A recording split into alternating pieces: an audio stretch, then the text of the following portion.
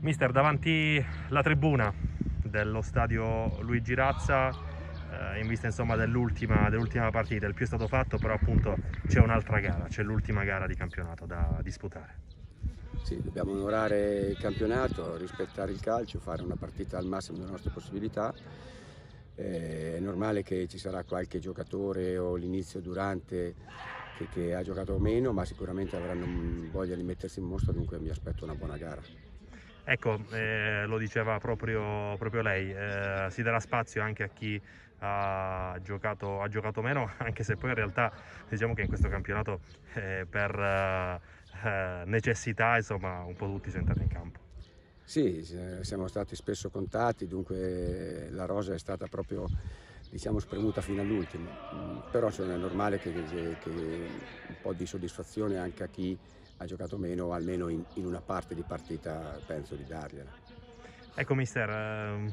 mm, siamo messi proprio qui in, qui in campo a, a, sottolineare perché la salvezza insomma è arrivata, eh, manca però eh, il pubblico e non manca soltanto la Vibonese, manca il calcio in generale.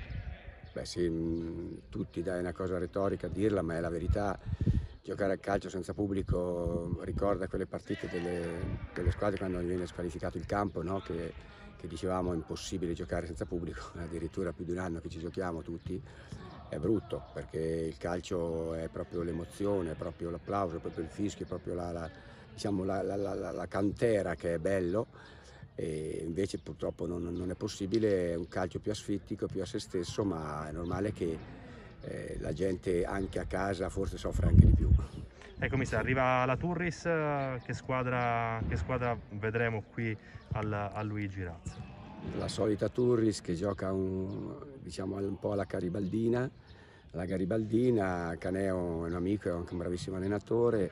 scalano sempre in avanti, molto pericolosi, concedono qualcosa ma la partita di solito la fanno loro. Ecco, ehm, dopo questa, questa, gara appunto si chiuderà, si chiuderà, il campionato e ovviamente si penserà già alla prossima, prossima stagione. I colleghi eh, chiedono cosa eh, si immagina per la prossima stagione Giorgio Rosetti. Immagino che lunedì vado a casa e vado a rincontrare la mia famiglia e mia, la mia nipotina che non ho visto per tre mesi